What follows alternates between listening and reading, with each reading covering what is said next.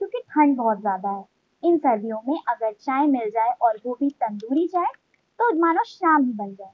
तो चलिए, आज हम बनाएँगे तंदूरी चाय। तो देर किस बात की? चलिए रेसिपी शुरू करते हैं।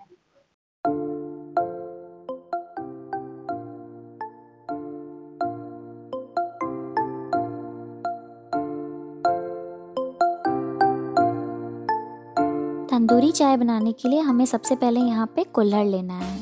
तो मैं अपने चाय को एक स्मोकी फ्लेवर देने के लिए यहाँ पे लकड़ी के कोयले पे इसे सेक रही हूँ। अगर आपके पास लकड़ी का कोयला अवेलेबल नहीं है तो आप नॉर्मल गैस चूल्हे पे भी इसे सेक सकते हैं। और यहाँ पे हमने मिल्क को बॉईल करने के लिए चढ़ाया है।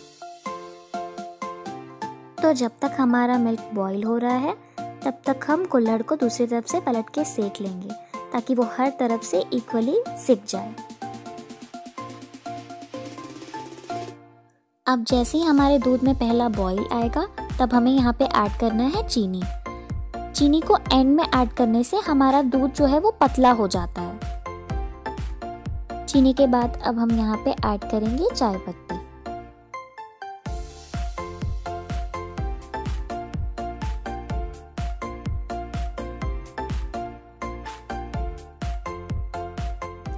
चाय पत्ती ऐड करने के बाद हमें अपने चाय को अच्छे से खौलाना है। और यहाँ पे हमारी चाय को गाढ़ी करने के लिए मैं यहाँ पे मिल्क पाउडर का यूज़ कर रही हूँ। ये स्टेप ऑप्शनल है, आप चाहे तो स्किप भी कर सकते हैं।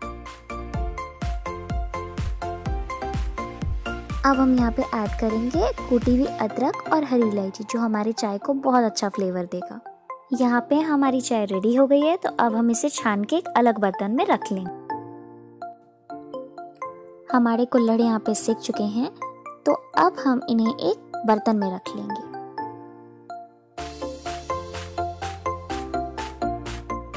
अब हम अपनी छनी हुई गर्म चाय को इस कुल्हड़ के ऊपर डालेंगे, ताकि इस कुल्हड़ का सोनापन जो है वो हमारी चाय में आ जाए। तो बिल्कुल इस तरह के बबल्स बनेंगे हमारी चाय में। तो ये हो गई हमारी तंदूरी चाय की रेसिपी रेडी इसका स्वाद बहुत लाजवाब है तो इसे आप ट्राई ज़रूर कीजिएगा। वीडियो अच्छी लगी तो लाइक और कमेंट ज़रूर कीजिएगा और न्यू कमर्स मेरे चैनल को सब्सक्राइब ज़रूर कीजिएगा।